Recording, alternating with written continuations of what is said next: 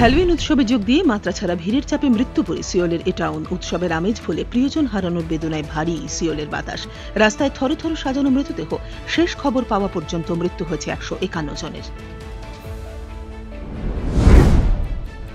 Somalia জঙ্গি হামলায় মৃত্যু হল অন্তত একশো জনের জোড়া বিস্ফোরণে জখম হয়েছেন তিনশোরও বেশি মানুষ। সেদেশের প্রেসিডেন্ট হাসান শেখ মাহমুদ এই জঙ্গি হামলার কথা টুইট করে জানিয়েছেন। এখনও পর্যন্ত কোনো জঙ্গি গোষ্ঠী এই হামলার দায় স্বীকার করেনি।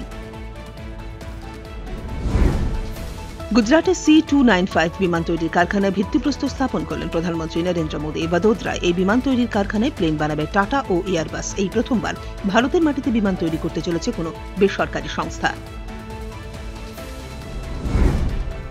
গুজরাট ভোটের আগে অভিন্ন দেওয়ানি বিধি দাবি জানালো আম আদমি পার্টি। আপ সুপ্রিমো অরবিন্দ কেজরিওয়াল স্পষ্ট ইঙ্গিত দিয়েছেন, সংসদে অভিন্ন দেওয়ানি বিধির বিল আসার অপেক্ষায় আছে তাঁর দল।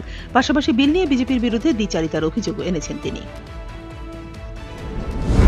ফের বিতর্কে চকলেট প্রস্তুতকারক সংস্থা ক্যাডবেরি সংস্থার দীপাবলির বিজ্ঞাপনের মাধ্যমে প্রধানমন্ত্রী নরেন্দ্র মোদীর বাবাকে অপমান করা হয়েছে বলে অভিযোগ, আর সেই অভিযোগে ক্যাডবেরি বয়কটের ডাকও দিয়েছেন অনেকেই সোশ্যাল মিডিয়া জুড়ে ভাইরাল দেশের প্রধান বিচারপতির উপস্থিতিতে মিডিয়া ট্রায়াল নিয়ে সরব হলেন মমতা। কলকাতায় এক অনুষ্ঠানে ছিলেন হাইকোর্টের প্রধান বিচারপতি ও সেইখানে গণতন্ত্র রক্ষা করতে বিচারপতিদের হস্তক্ষেপের দাবি করেন তিনি।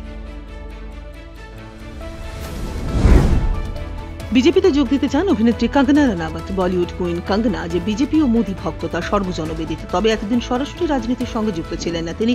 এবার সেই রাজনীতিতেই সক্রিয়ভাবে আসতে চান বলে ইচ্ছা প্রকাশ করলেন অভিনেত্রী। তাকে স্বাগত জানিয়েছেন বিজেপি সভাপতি জেপি নাড্ডা। দীর্ঘদিনের দূরত্ব ঘুচিয়ে পঞ্চায়েত ভোটের প্রাককালে দুই কামতাপুর পিপলস পার্টি এক ছাতার তলায় এলো। একত্রে এসে পৃথক রাজ্যের দাবি আদায় সহ পঞ্চায়েত ভোটে একত্রে লড়ার সিদ্ধান্ত নিয়েছে কামতাপুর প্রগ্রেসিভ পার্টি এবং কামতাপুর পিপলস পার্টি।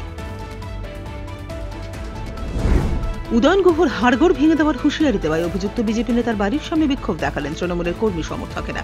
রবিবার দুপুরে বিজেপি নেতার বাড়ির সামনে টায়ার জ্বালিয়ে বিক্ষোভ চলে পরে দিনহাটা থানা থেকে বিশাল পুলিশ বাহিনী এসে পরিস্থিতি নিয়ন্ত্রণে আনে।